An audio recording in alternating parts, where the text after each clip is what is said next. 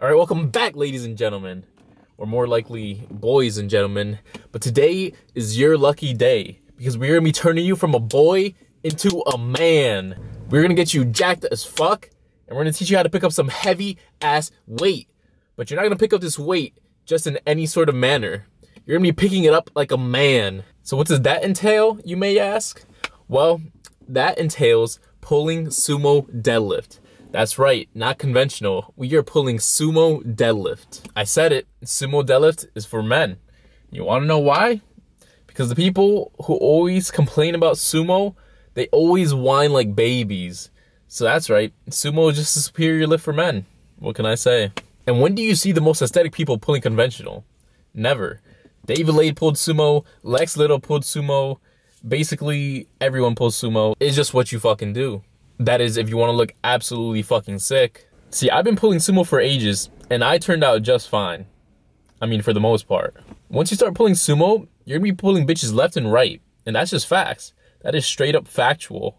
On gang, on grandma, on whatever. Guaranteed or your money back. And you know why? Because I'm gonna see you thrust your hips forward, and it's just gonna be a massive turn on. Like, if, if I see you pull like that, bro, I'm gonna be turned on as hell too. Like, I'm not even gonna lie.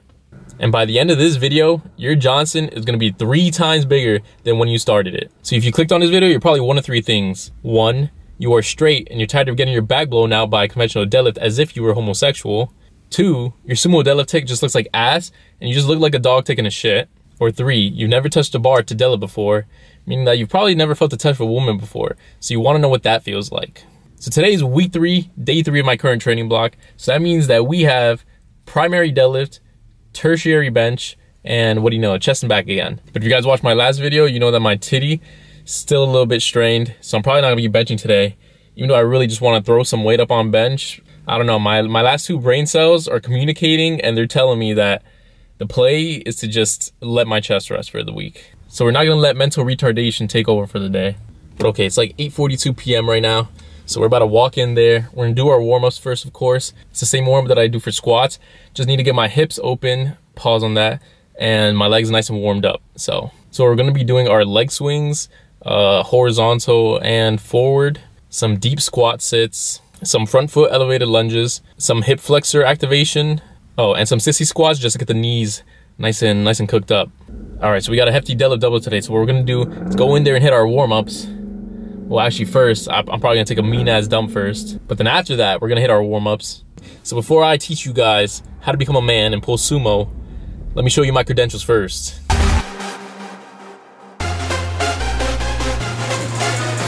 There's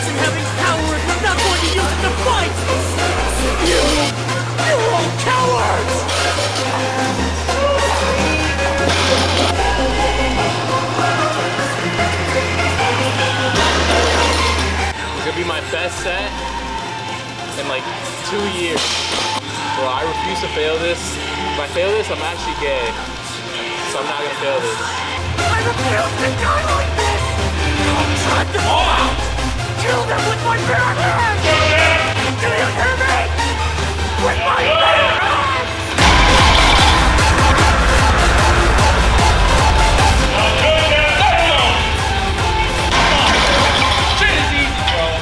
Bro, that shit fucking flew. I needed that so bad.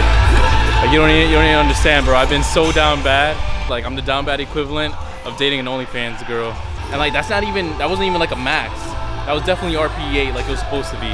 So we fucking take those like every day of the week. But to put that in Fortnite terms, I've been getting 200 pumped for like the past 10 weeks. And I finally got my editing skills down and got my victory royale.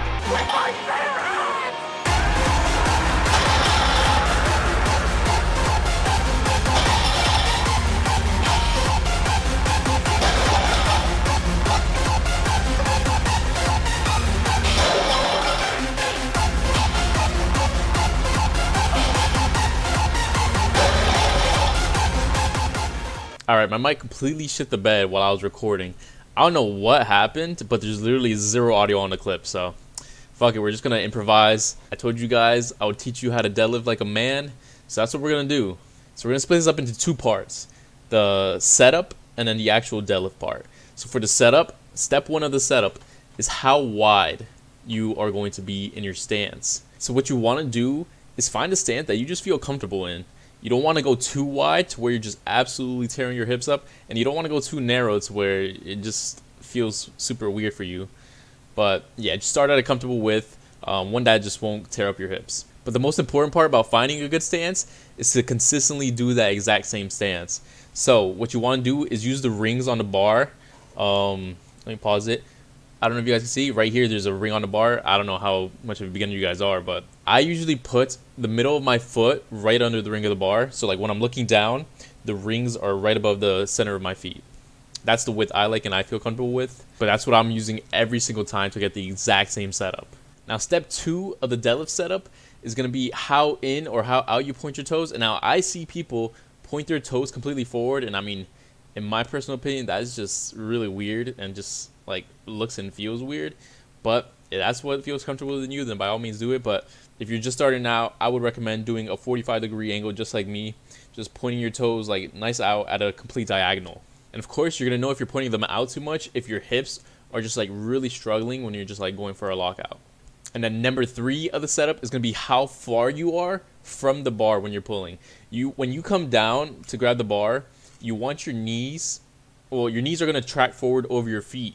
So you want your shins to not touch the bar completely. You want to be like five millimeters away from the bar when you're down like at the bar level. And of course, that's because you don't want to be kicking the bar away when you're wedging in and your knees are like traveling forward. And you don't want to be too far back because then if you're pulling, the bar is going to just pull you forward and down. So positioning is the most important part of the sumo deadlift. If you mess up your starting position, you're pretty much fucked. But okay, now that we got all of that down, now let's get into the real nitty gritty of the deadlift, which is the actual pulling part. So we're gonna split this up into three three steps too. So step number one is gonna be the pump, which I'm about to do right here. It's when you have your hands on the bar and then you bring your hips and your torso up.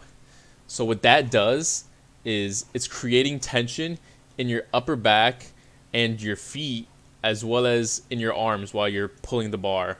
And remember that you're keeping your arms as long as possible while doing this. So if your arms are on the bar and you're pulling up, your shoulders are coming up. And if you know anything about physics, if your shoulders are coming up and your hands are still on the bar, then the bar is gonna pull onto your shoulders and there's gonna it's gonna create a whole lot of tension in that area. All right, so let me just draw this out for you guys. So then by bringing your hips up, you're also bringing your torso into position where it's gonna be like trying to come up, but it can't because your arms are connected to the bar so then there's this tension being created in your arms and in your upper back and in your feet. The whole point of the pump is to create that tension in your arms, upper back, and your feet. That's the whole point of it. So now we got step two, and this is gonna be the wedge right here. So after the pump, you're gonna come back in and just wedge your hips right in. So what I need you to imagine is like you're giving a girl like the the baddest girl, the meanest backshots of your life. Like you will never be able to tap a girl this bad ever again in your life. So what you're doing when you're wedging in is you are pulling back with all your might while you're bringing your hips in and you're trying to give like every single millimeter that you have. And she's like, please go deeper, go deeper. And you don't have anything left to give, but you are trying your very damn hardest to create any sort of new millimeter that you can. Okay, so now what's happening with the wedge is that this is the pump right here. When you're wedging in, your torso is coming back and up this way.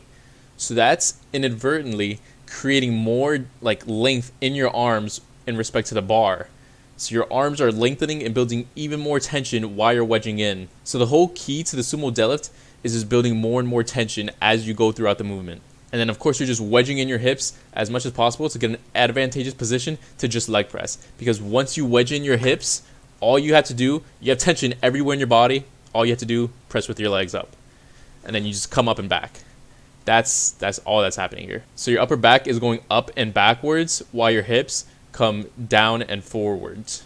So then you create kind of like this kind of movement that goes like that with your upper body and then your lower body and then you just literally become one with the bar and just press up and then that's how you deadlift. So that's pretty much the oversimplified version of how to deadlift like a man aka sumo deadlift, and then you put it all together, and it, just looks beautiful like this. You just build up all that tension, and then you just leg press. Easy as that. Oh, and one minor tip that I forgot to give is that make sure that you are looking up while you are deadlifting. It just helps create even longer arms. All right, now that I taught you how to sumo deadlift like a man, let's get back in there, destroy our bodies, and then some heavy ass weight.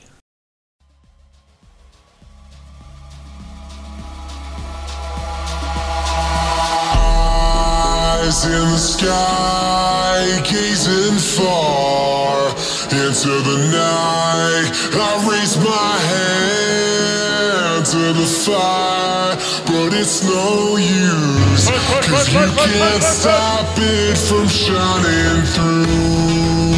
It's true,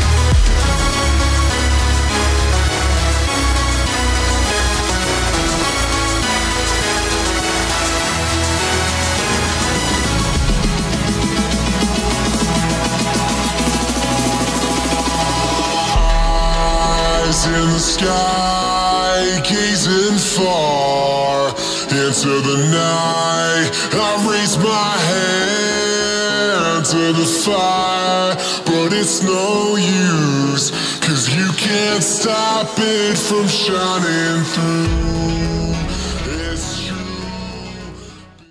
Bro, I shit you not. I dead ass forgot that I wasn't wearing shorts under. And like while I was warming up for deadlifts, I went to take off my pants because obviously I hate deadlifting in joggers because the bar gets caught on your legs. And I started dropping my pants and I'm halfway down until I realize I see the color of my boxers. And I'm like, oh fuck, those are not shorts. And I just pull my pants right back up, bro. And I was in the middle of the of the powerlifting section of the gym, and I, I was just like, bro. And I was wearing gray boxers too. I did not need everyone seeing my millimeter Peter print on my boxers, bro. And I'm pretty sure it's a thing where when you're lifting or like about to lift, like you're just smaller for whatever reason. So I would have been like a fuck, what's smaller than millimeter? Uh, fucking a fucking yoctometer, Peter. but yeah, fuck, that was way too close. Besides that, that was a fucking great session though. 617 for two on deadlift. That's my best set since I had my surgery. Like that shit's crazy, bro. Like I am literally at my strongest right now, and that's so crazy to think of. How like one year ago, I was literally crippled in bed right now at this time of the year. Like that's just crazy to me, but it just goes to show that if you're in a rough point in your life right now, to not lose hope because you will bounce back and you will come back better. Literally, uh, one of my favorite quotes is the comeback is always greater than the setback. Like a year ago, I really had no clue if I'd ever be able to powerlift again.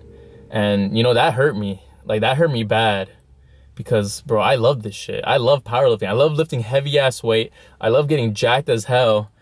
Like if I didn't have the ability to push myself in a gym and go as hard as I can, I don't even know where I would be mentally right now because I just love this shit. I I want it so bad, bro. And I and I know it sounds fucking corny as fuck, like someone going to war, but that's literally how you have to treat the gym. You have to treat the gym like it's do or die, or you won't grow, because you need to be like pushing yourself, and you need to just cross that mental barrier to be able to do that. And let me tell you, bro, like it's not easy to cross that mental barrier to really just push your body to its max limits. But I've been feeling good as ever lately, and like not even on my compounds, but even on my accessories, bro. I'm handling weights that a year ago I was struggling like pretty bad with. But I think that's just also because of the help I've been getting from like the new literature that's been coming out of like how you want to do a lot of your sets to to six, not really eight to twelve. You don't really want to be hitting twelve. You really want to aim for six because that's what's going to give you your strength on your accessories. And then because you're doing sets of six, you're getting stronger, so you can in turn do more reps and volume. Like I made more progress on accessories within like the last six months than I made in probably like my first three years of lifting. Like it's actually insane how much of a difference it's made to just train to six reps to failure. But yeah, that's gonna be it today. So you lost your sumo virginity. Congrats. Let me know if it's a boy or a girl in nine months. But um, don't invite me to the gender reveal party because those shits are whack.